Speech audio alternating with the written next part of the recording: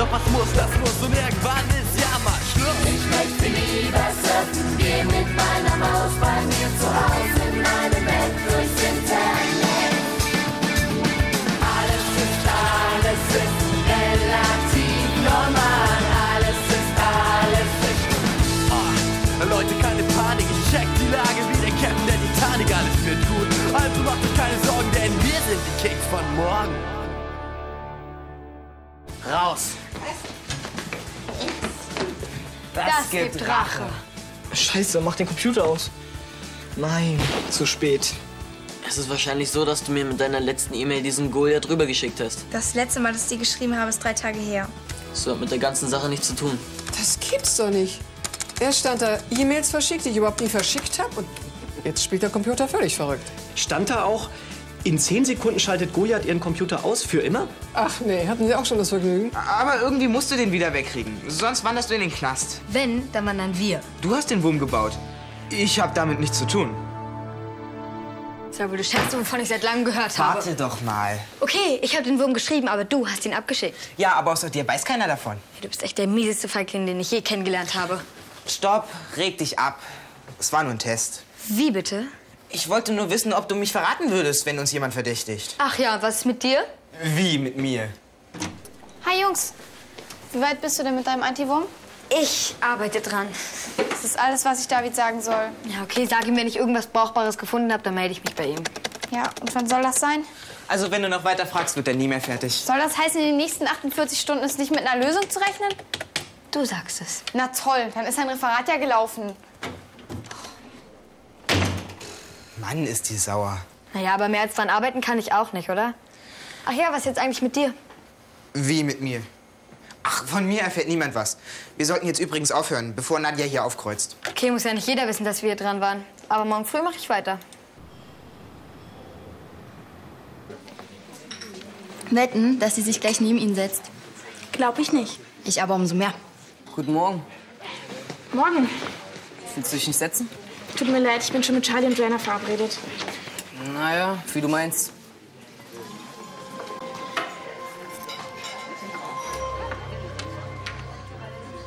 Und wer hat die Wette gewonnen?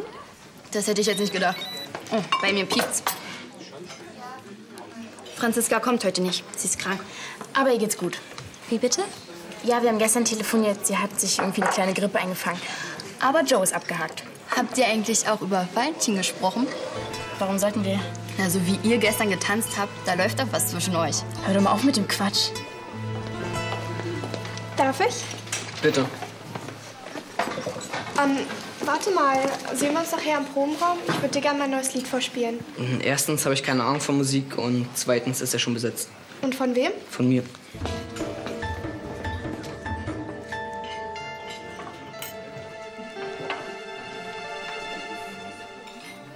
Von wegen, da läuft nichts.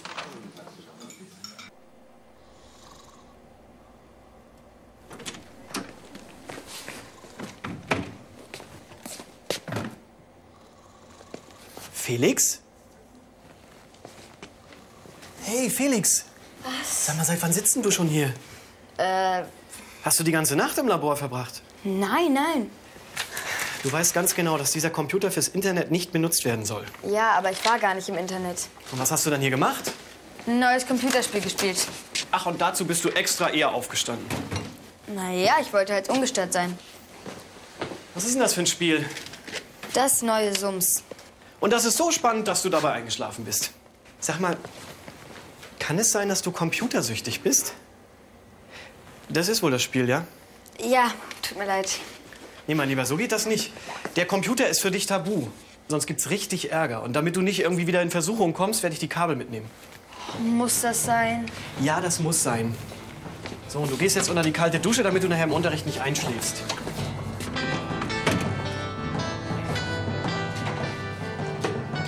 Bitte schön, Frau Klavitter. Guten Morgen, liebe Kollegen. Darf ich kurz stören?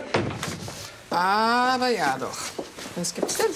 Unser Schulrat hat da, wie ich finde, ein äh, ganz interessantes äh, Dankeschön Angebot für uns. Äh, Und zwar möchte das Land Brandenburg für alle Gymnasien hier in der Region eine Werbebroschüre herausgeben.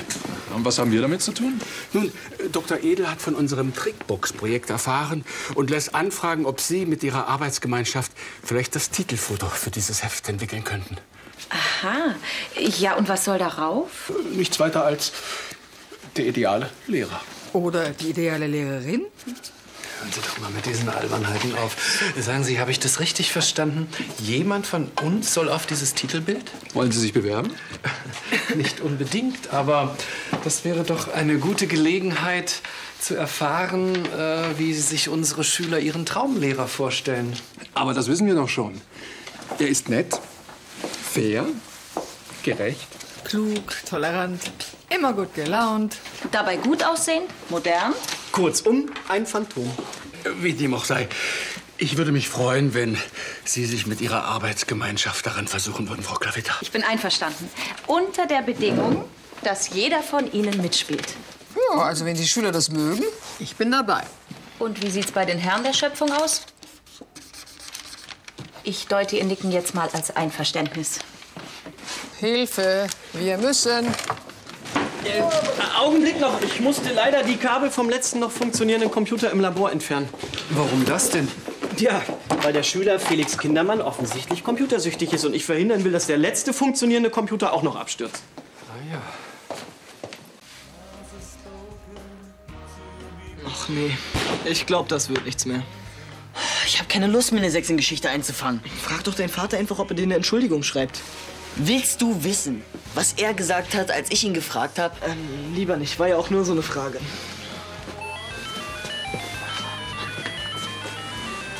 Ja, hallo, wer ist da? Hi Schatz, ich bin's Sue. Sorry, dass ich mich gestern Abend nicht noch gemeldet habe, aber das Ladegerät von meinem Handy ist kaputt. Ach, ist schon okay. Was sagt Felix? Er glaubt nicht, dass er es in den nächsten zwei Tagen hinbekommt. Verdammt! Schafft's nicht bis morgen. Hab ich doch gesagt. Große Klappe, aber nichts dahinter. Kann dein Vater nicht eine Firma bestellen, dass du wenigstens an ein Referat dran kannst? Da kommt niemand unter 150 Euro. Da meint mein Vater, er kann sich gleich eine neue Festplatte kaufen. Denkt wahrscheinlich, du hast die selbst kaputt gemacht. Und aus dem Gedächtnis kriegst du das Referat nicht wieder hin? Das waren zwölf Seiten. Schon okay. Hm, Naja, dann hilft nur noch eins. Und was? Du sagst in der Schule, du hättest dich irgendwo angesteckt. Wie bitte? Na, du machst einen auf krank. Magenschmerzen, Grippe, Zahnweh. Lass dir was einfallen. Oh, ich muss los. Wir sehen uns später. Tschüss. Und? Irgendwie werde ich krank. Dieser Rücken. Oh, und mein Magen erst. Dieses entsetzliche Husten. Lass mich mal fühlen. Puh, mindestens 45 Grad. Guten Morgen. Ich weiß, ihr werdet untröstlich sein, aber wir werden mit dem Unterricht heute ein paar Minuten später beginnen. Und äh, was machen wir vorher? Da reden wir über ein Angebot, das euch der Schulrat machen möchte. Geht es um meine Klassenreise nach New York? Äh, nicht ganz. Wer von euch möchte denn gern mal bei einem Titelbild mitmachen? Machen oder drauf sein? Machen. Drauf sein sollte der ideale Lehrer. So etwas gibt es doch gar nicht. Zumindest nicht hier bei uns an der Schule. Ausgenommen Sie natürlich, Frau Klavitter. Vielen Dank. Aber als Leiterin unserer AG stehe ich leider gar nicht zur Verfügung. Und wen sollen wir dann sonst nehmen? Das ist ganz allein eure Sache. Auf jeden Fall spielen alle anderen Lehrer mit. Also los, ich brauche Freiwillige. Bis wann soll das Foto denn fertig sein? Bis morgen Nachmittag. Bekommen wir dafür unterrichtsfrei? Das könnte euch so passen. Nein, nein, dafür habt ihr genug Zeit in den Pausen und am Nachmittag. Also ich würde es machen. Gut, dann bist du die Nummer eins. Ich auch. Zwei, gut. Billy vielleicht? Ich kann, ich habe nachher Boxtraining. Dann bin ich die dritte. Okay, also Chui, Conny und Verena. Ich habe euch auch schon mal eine Kamera besorgt. Viel Spaß dabei. Übrigens, die Kollegen und Kolleginnen sind schon schrecklich gespannt, wer von ihnen als idealer Lehrer auf das Bild kommt.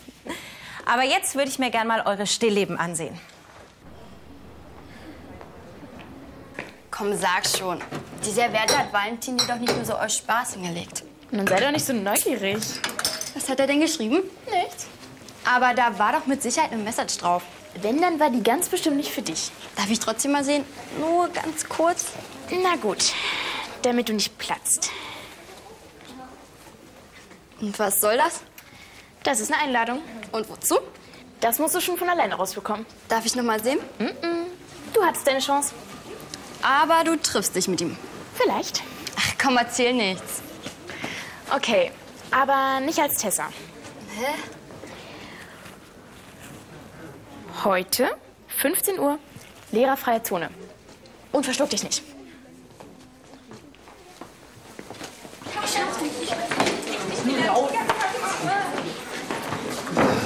Guten Morgen.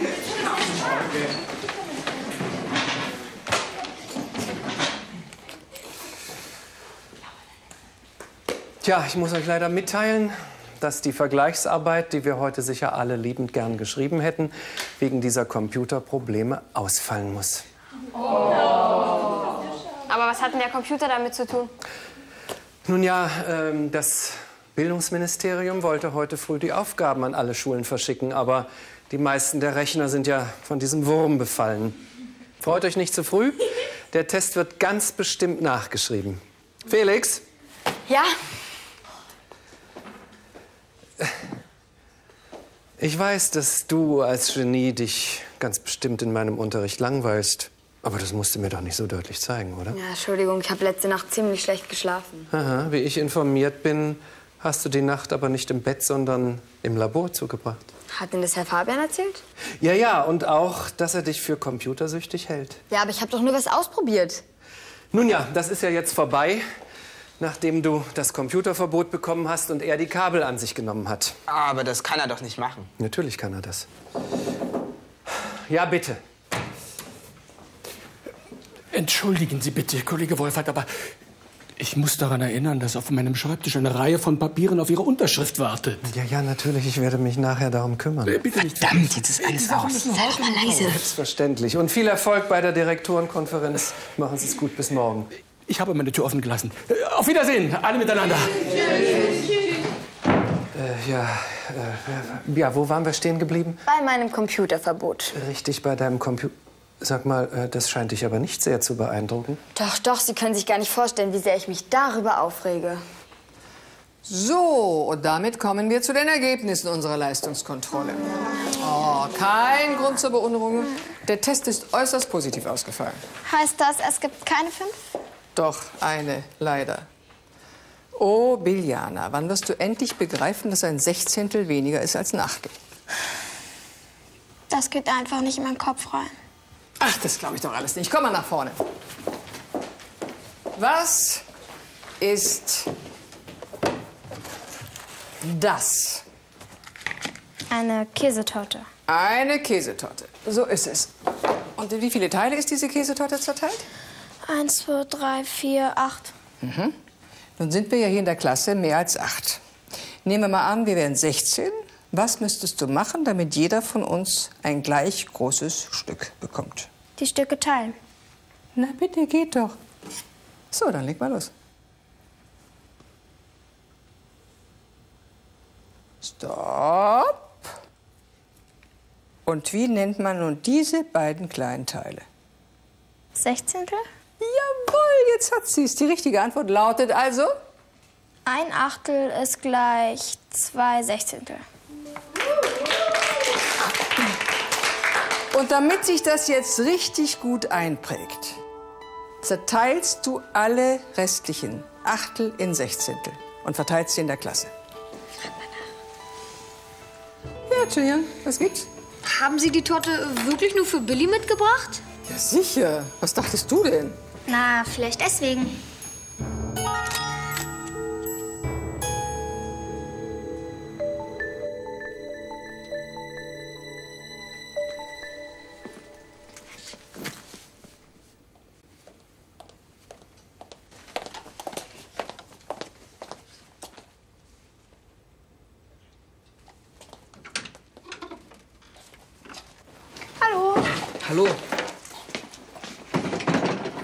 Du denn hier?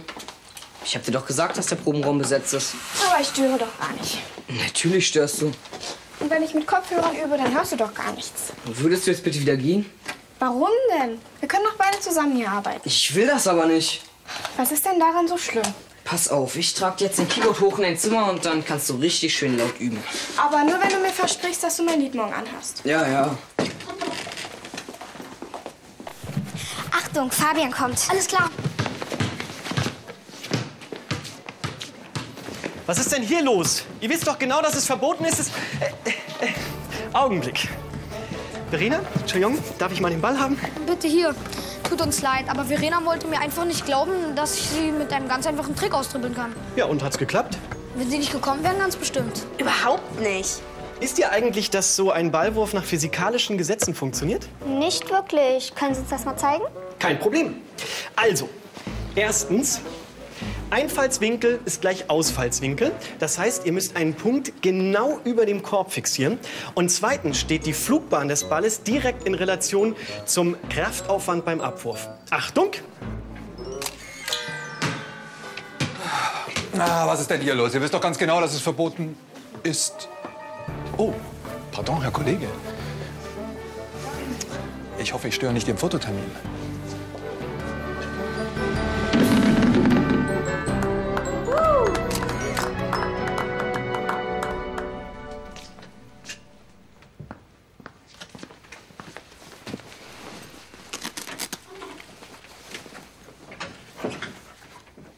Hi Tessa, Entschuldigung.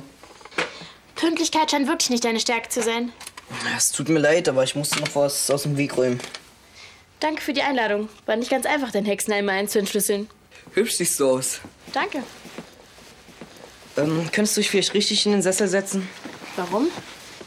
Kommen deine Warzen besser zur Geltung? Ist das so recht? Darf ich mal? Vorsicht. Was ist denn? Es ist verboten, Hexennase zu berühren, das weißt du doch. Ah, und was passiert, wenn man es dann doch macht? Dann wird man verzaubert. In einen Raben. Nein, man wird für 100 Jahre zu Stein. Bleib genau so. Dann krieg ich aber eine Genickstarre. Nicht bewegen. Und welches von den drei nehmen wir nun? Irgendwie bringen die es alle nicht. Heißt das, du willst nochmal von vorne anfangen? Keine Ahnung, aber auf so einem Titelbild, da soll doch ein ganzer Lehrer zu sehen sein. Und warum hast du es nicht vorher gesagt? Weil es mir vorher nicht eingefallen ist. Aber ich finde, Shui hat recht. Den idealen Lehrer kennt man nicht allein am Gesicht. Sondern? Naja, zum Beispiel an den Klamotten, Körperhaltung, was weiß ich. Okay, Ende der Diskussion. Wir machen von allen ein Ganzkörperfoto und entscheiden dann. Mit wem fangen wir an? Na, am besten mit demjenigen, der als erster reinkommt. Oh, beeil dich, mein Hals wird schon ganz steif.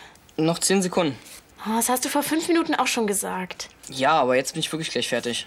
Zehn, neun, acht, sieben, sechs, fünf, vier, drei, zwei, eins und Schluss. Puh, ganz schön heiß hier drunter. Willst du ein Taschentuch? Danke. Kann ich mir mal angucken? Ungern. Warum denn nicht? Ja, weil ich noch nicht fertig bin.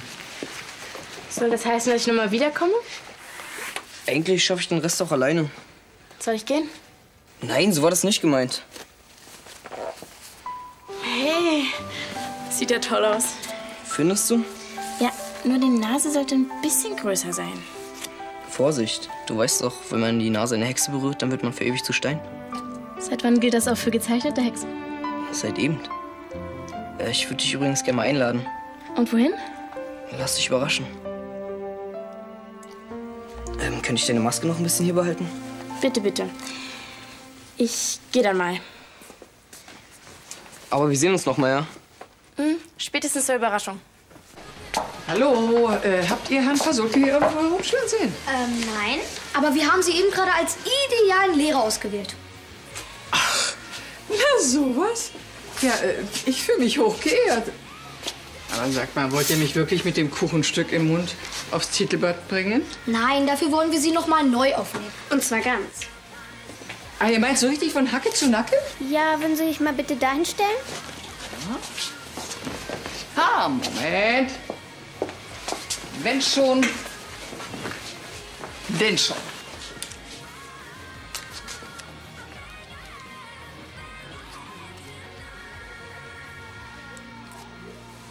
So. Ihr könnt. Und jetzt gucken Sie mal so, wie Sie sich eine ideale Lehrerin vorstellen.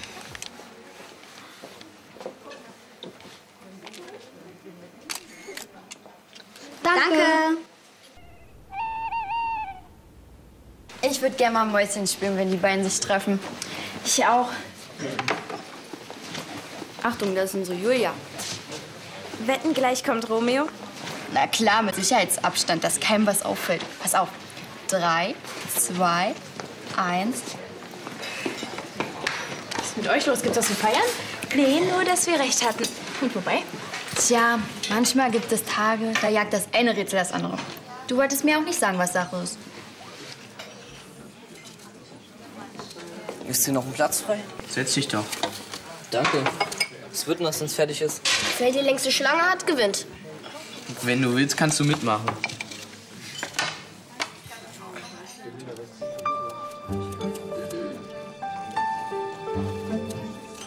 Ja, ich werde Apfelkönig. Abwarten. Erstmal messen. Hallihallo, mein Lied ist fertig. Mist! Entschuldigung, das wollte ich nicht.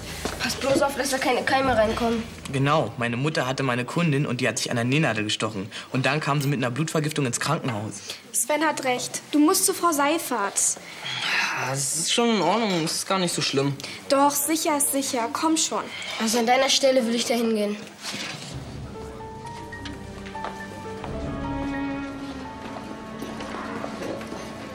Sieht aus, als hättest du eine heiße Konkurrentin. Aber das stört dich ja überhaupt nicht. Oh, verdammt, schon wieder falsch. Hallo, Herr Pasulke, wie geht's Ihnen denn? Danke der Nachfrage. Gleich mal vorbei, ich hab's eilig. Da würde ich an Ihrer Stelle jetzt nicht reingehen. Wieso nicht? Herr Dr. Stolberg führt ein wichtiges Telefonat und möchte dabei nicht gestört werden. Ah, verstehe. Und du hast gleich einen Termin bei ihm? Ja, ganz genau. Wenn Sie wollen, kann ich ja die Post für Sie mit reinnehmen. Ja, gute Idee. Hier. Das mache ich doch gerne. Schönen Tag noch. Ihnen auch.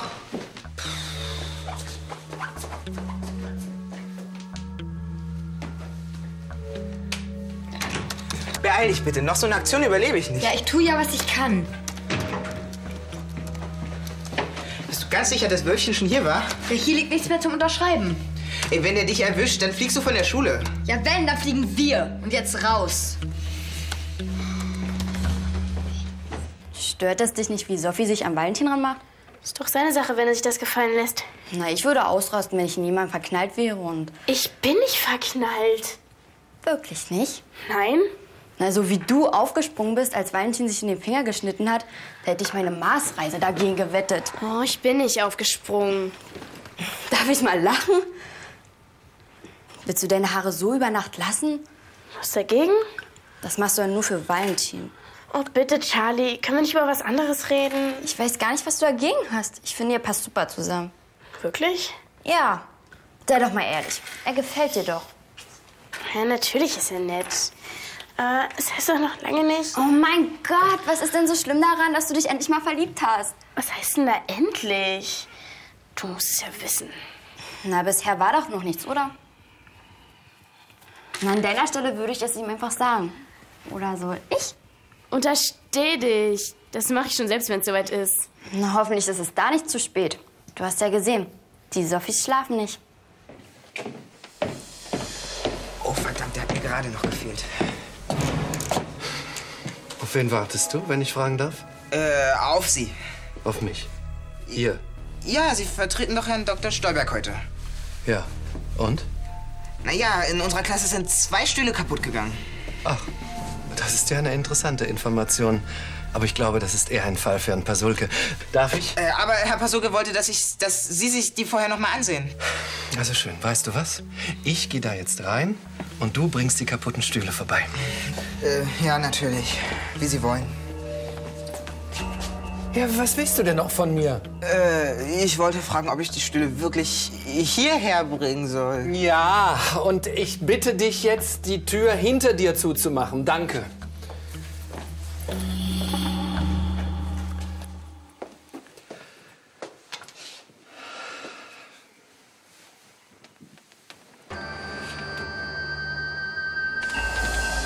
Felix, was machst du denn hier?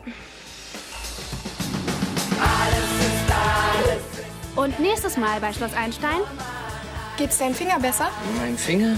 Zeig mal her. Da kümmere ich mich schon drum. Was hast du denn damit zu tun? Ich habe Valentin doch erschreckt. Total genial.